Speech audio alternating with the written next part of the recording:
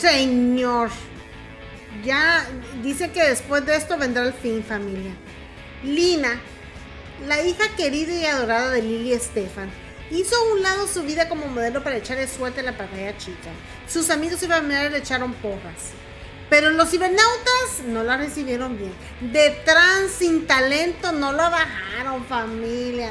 No, poco, qué gacho.